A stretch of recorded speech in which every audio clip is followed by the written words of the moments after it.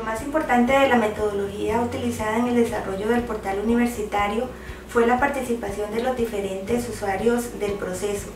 desde el punto de vista del sistema de vacaciones, considera a la Oficina de Recursos Humanos como el ente técnico encargado de, esta gestión, considera también al nivel de jefatura y al usuario final a través de las diferentes metodologías que se utilizaron, como lo fue la entrevista y las, eh, las encuestas que se realizaron.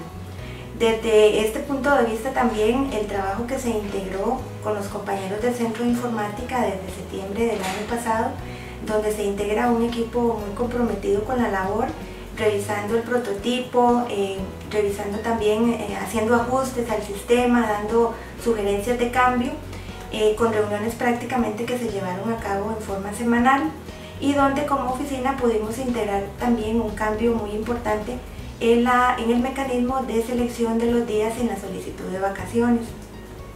Otro de los aspectos muy importantes y para mí pilares de este trabajo fueron considerar los elementos de usabilidad, accesibilidad y adaptabilidad del sistema a los diferentes dispositivos electrónicos, de manera que el usuario podrá desde un teléfono celular, desde una tableta o una portátil, acceder al sistema y visualizar los diferentes módulos que el mismo contiene.